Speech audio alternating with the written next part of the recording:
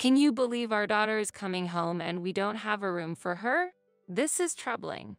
Can you move out this time? I was shocked to hear these words suddenly from my mother in the house where I had been living with my husband's family, my mother in law labeled me as a bad wife who doesn't do household chores and criticized me daily. Then they wanted to kick me out to make room for my husband's sister who was coming home for childbirth. We can't keep an incompetent person who contributes nothing to the family any longer. Hurry up and leave so we can free up the room. My name is Tracy. I'm a 33 year old office worker. After graduating from college, I joined a well known, large company in my hometown, actively working and living the life of a working adult. As a salesperson, I find fulfillment in dealing with various clients and advancing negotiations.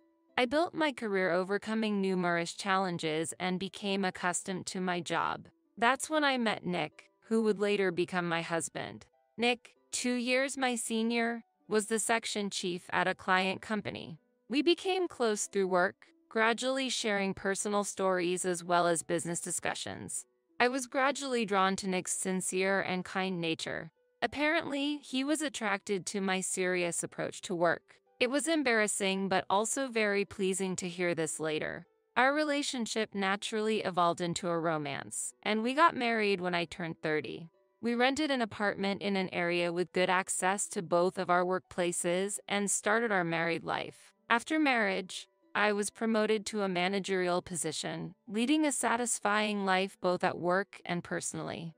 However, there was one concern my mother in law's occasional visits. She, having devoted herself to homemaking from a young age, believes that a daughter in law should perfectly handle household chores. Tracy, You've left some dishes unwashed again. And look at all these piled up laundry. You're so sloppy. What kind of upbringing did you have? My mother in law would say these harsh words whenever she found the opportunity during her weekend visits. I planned to clean up that day, but the atmosphere didn't allow for any rebuttal, and all I could say was, I'm sorry.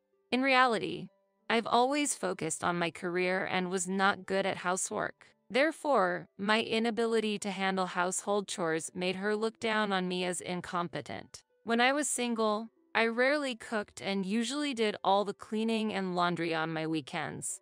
After marriage, to reduce the burden of household chores, I invested in home appliances like cleaning robots. Nick understands my personality and doesn't force me to do household chores. On the contrary, I'm truly grateful to him for cooking dinner and doing laundry when he returns home earlier than me. Mom, Tracy is working hard every day and doesn't have much time. Please don't complain. Nick would defend me whenever his mother said something, but she would just get upset without listening. Oh, that reminds me, Nick.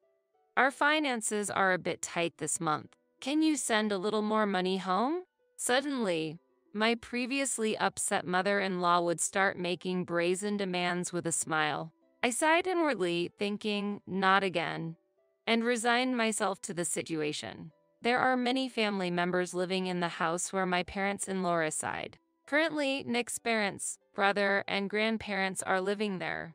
Until a while ago, Nick's sister, Lauren, lived with them and contributed to the household expenses by working, but recently she got married and left the house.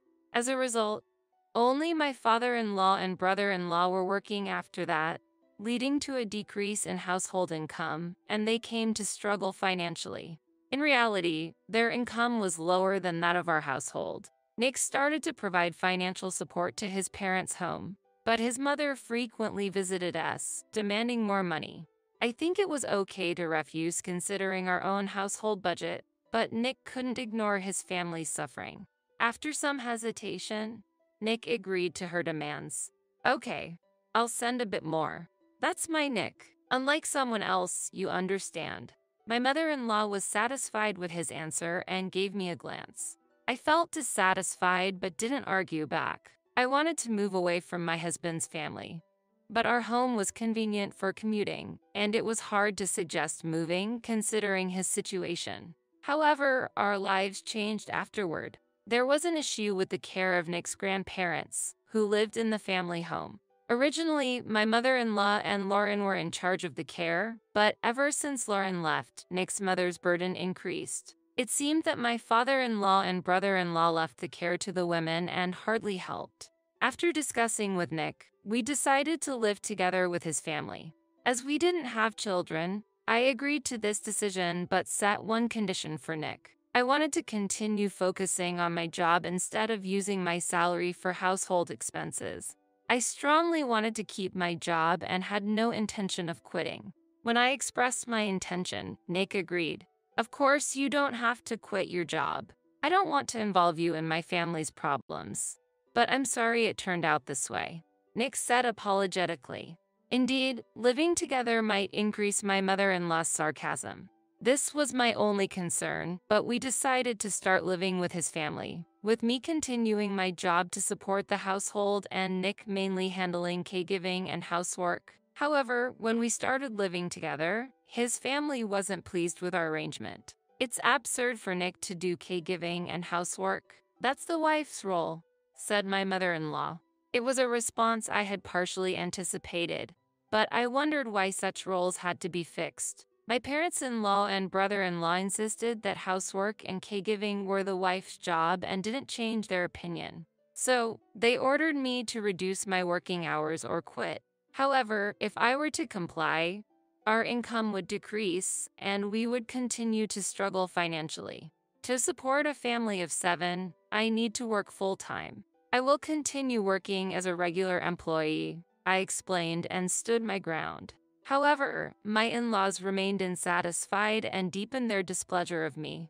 How can someone have such an opinion? I can't believe how disobedient this daughter in law is. My mother in law exclaimed angrily, and her attitude toward me became even harsher. Afterward, my brother in law also criticized me, using work as an excuse not to help mom. What an incompetent wife. Then, both of them began leading the bullying against me. My father-in-law barely intervened and didn't protect me. Nick's grandparents, who returned to their bedroom immediately after dinner, had limited contact with me and showed little interest in me. After starting to live with my in-laws, my work became busier, and I often returned home late. When I came home after overtime, the family complained that I should come home earlier, looking down on me as if my job was insignificant. I felt deeply frustrated when they belittled my work. I took pride in my job and was committed to my responsibilities as a manager. However, my in laws kept telling me to prioritize housework over my job, and eventually, I found more peace at work than at my in law's house. Once, unable to bear the bullying, I complained to Nick. Why am I treated like this despite earning the daily expenses and even paying for new furniture and appliances for your family's house? Nick listened to me seriously. He understood the problems his family would face if I were to quit my job. I'll talk to everyone. I'm really sorry for involving you in my family's issues, Nick said, and I was filled with gratitude. He must be tired from doing housework and caregiving after work. Later, Nick tried to discuss it with his whole family, but their opinions didn't change at all. My brother-in-law even angrily accused me, You didn't discipline your wife properly and that's why she has become so selfish. It's your responsibility to train her. My in-laws agreed with him, and their criticism toward us began. I had had enough. The attitude of Nick's own family, who once received financial support from him, was unbearable. Sorry, Nick, I can't live here anymore. We discussed our future seriously in our room. Nick, too, was angry at his family's response and immediately decided we should end this living arrangement and move out soon. If we were to continue like that, our stress would only increase. Therefore, Nick and I decided to leave the house, began searching for a new residence, and started preparing for our next life, keeping it a secret from his family. Half a month later, on an afternoon, Lauren, my sister in law who had left the family home after getting married, returned unexpectedly. It was during the weekend and I was off work, so all of us, including Nick's family, were at home. Seeing Lauren return with a large suitcase, my mother in law was overjoyed. Lauren, welcome back. Have you had lunch yet? If not, I'll make something right away. Thanks, Mom. I'm really hungry. Lauren passed by Nick and I without greeting us and headed straight to the living room. Hold on a second. Lauren, why did you come back all of a sudden? Nick asked as he entered the living room. Lauren replied, I'm about to have a baby soon. It's my first time, and I feel insecure, so I've decided to come back home for the childbirth. I'll be staying here for a while. My father-in-law and brother-in-law who were watching TV in the living room also seemed to welcome Lauren's return. However, Nick and I were confused. This was because the room Lauren used to use was being used by us then. Indeed, the family home was spacious, but at that time it housed seven people, and there were no vacant rooms. Before I could say anything, my mother-in-law looked at me and sighed dramatically. What a predicament. Lauren is back, but we're short of rooms. Tracy, could you leave now that we have this situation? Huh?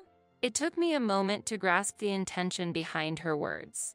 Well, the room you're using originally belonged to Lauren, right? Now that Lauren is back, it's only proper to give it back to her, my mother-in-law stated clearly. Then she laughed and said, we can't keep a useless person who doesn't help with anything around the house here, can't we? While seeking agreement from the other family members. My father-in-law nodded, and my brother-in-law looked at me and laughed. Wait a minute, isn't that unreasonable? Nick argued while I was still in shock. Lauren then haughtily said to me, You're a wife, yet you don't properly take care of the house. There's no point in you being here, just leave already. However, I was the one supporting most of the household expenses. What would happen to this house if I were to leave? Did they even understand that? Hesitating to voice this out, Nick placed his hand on my shoulder and shook his head in resignation. It's okay.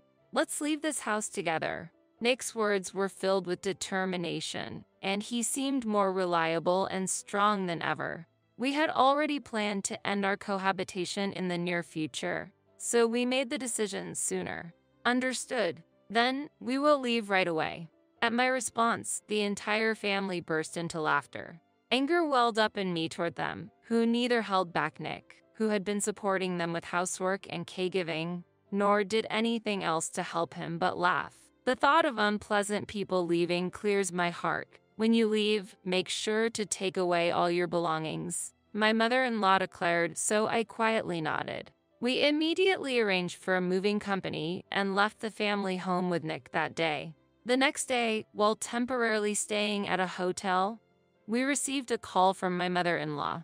It was surprising that my mother-in-law called my cell phone instead of Nick's, but since I had an idea why, I decided to answer. As soon as I picked up, my mother-in-law's angry voice came through. What's the meaning of this? Today, the movers came and took almost all the furniture and appliances from the house. You arranged it, didn't you? As I was accused, I simply shrugged in resignation and thought, just as I expected. Nick, who was nearby, seemed to hear her voice as well and gave her a smile. The movers I had arranged the day before took away all the household goods, including furniture and appliances. Among them were large items like the dining table and TV, and with most things gone, the family was in complete chaos. I just followed your instructions to take away all my belongings. Everything that was taken was purchased by me. That's why I disposed of them, I replied, and my mother-in-law was at a loss for words. The furniture and appliances that were newly purchased when we started living with them were all actually paid by me.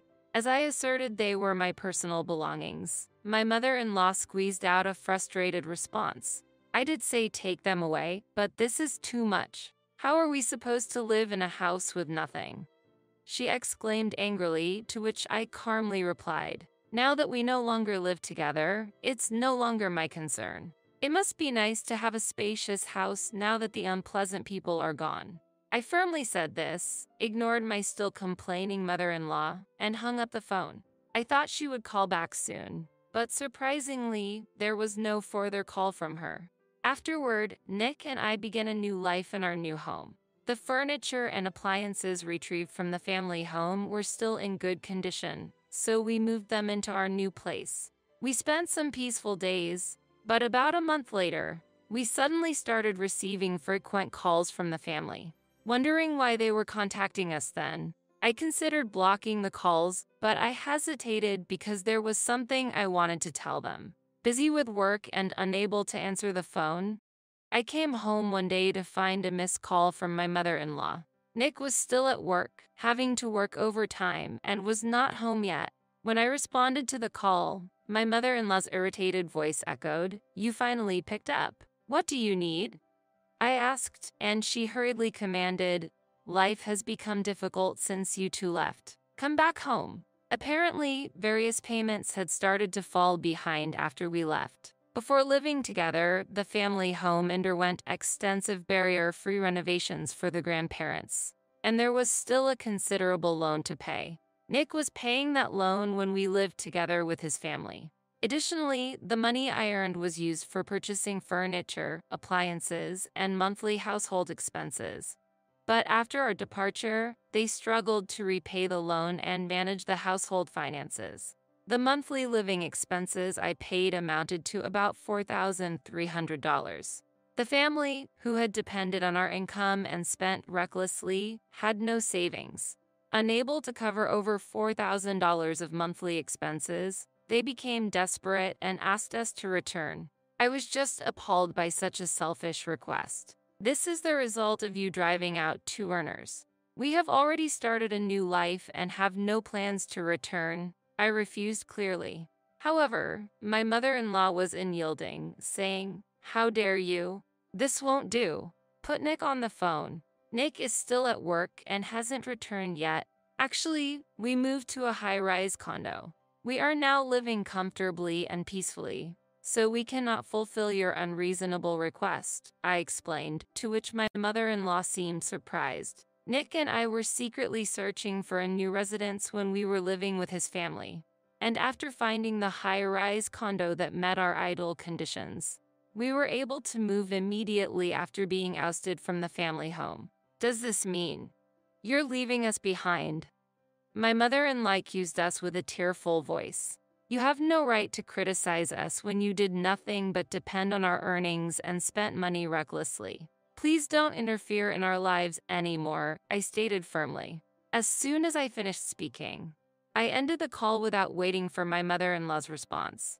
I was relieved to have informed them about our move to the high-rise condo and proceeded to block all contacts from his family. This new home was something we had earned with our hard work. We wanted to make a clear statement to his family, who had irresponsibly relied on us while constantly complaining and living leisurely. When Nick came home, I told him about the call from his mother. He had also received multiple calls on his cell phone but was unsure how to respond. I thought I couldn't abandon them because they are family, but I'm tired of dealing with them. Nick said, looking disheartened. He too seemed exhausted from his family's constant dependence. Subsequently, we changed our smartphone numbers and completely cut off contact with his family. Since we only told my mother-in-law that we were living in a high-rise condo, they wouldn't know our exact address. Afterward, Nick and I enjoyed peaceful days together, busy with our managerial roles but feeling fulfilled in our daily lives. Three years passed, and Nick and I decided to check on his family's well being after a long time. Since leaving the family home, Nick had not visited even during Thanksgiving or Christmas, so we had no idea how they were living. Upon arriving at the family home, we found no sign of Nick's family. The house was up for sale, and complete strangers were living there. Strange, where could everyone have gone? Nick wondered aloud. Encountering a friend of my mother-in-law who lived nearby, we decided to inquire about their recent circumstances. The events that unfolded at the family home over the three years then came to light. Lauren had returned for childbirth, claiming it was temporary, but in reality, she was already divorced and continued to live in the family home even after giving birth. Despite our departure, the addition of family members put further strain on the household finances. My mother-in-law began working part-time and Lauren soon put her child in daycare to start working, but their nights were filled with household chores and caregiving for the grandparents.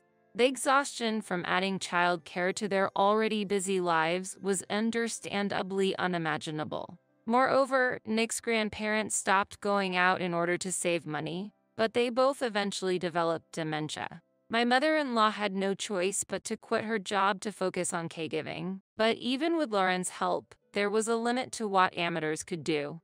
Unable to withstand the situation, they quickly appealed to my father in law to move the grandparents to a facility. But my father in law and brother in law refused to listen to them. They were relying on the grandparents' pension and were reluctant to spend on facility costs. As a result, the family's opinions were divided. I can't stand this life anymore. I've reached my limit. Nick's mother cried out in agony and left the house with Lauren and her grandchild. Left alone, my father-in-law and brother-in-law couldn't take care of the dementia-ridden grandparents, and despite hiring helpers, they soon reached their limit. Eventually, they decided to place the grandparents in a facility, but by then the family had fallen apart and no one returned home. Struggling to pay off the renovation loan, my father-in-law and brother-in-law ended up selling the house and moved elsewhere after paying off the loan. Hearing these stories, Nick showed a sad expression filled with mixed emotions. We asked the neighbors for the name of the facility where his grandparents were staying and decided to visit them soon. A few days later, a neighbor contacted Nick, relaying a message from my mother-in-law. Apparently, she had learned about our visit to the family home. According to her, my father-in-law and brother-in-law were living together and were paying for the grandparents' facility costs but they seldom visited them. My mother-in-law herself was living with Lauren and her grandchild, working part-time and still struggling with life. I can't stand this life anymore. Please, let us live in a high-rise condo, too. The neighbor conveyed her plea. Hearing such a request, we were just astonished. Nick, too, had grown wary of his family and stopped contacting the neighbor afterward. I don't intend to involve myself with my family anymore. But I do want to keep an eye on Grandpa and Grandma until the end, he said. I agreed with his decision and supported him, focusing more on our work than ever, especially when Nick occasionally felt the loneliness of losing his family. Having overcome difficult times, we want to live even more happily from now on. We plan to cherish our current life, live peacefully, and consider having children in the future.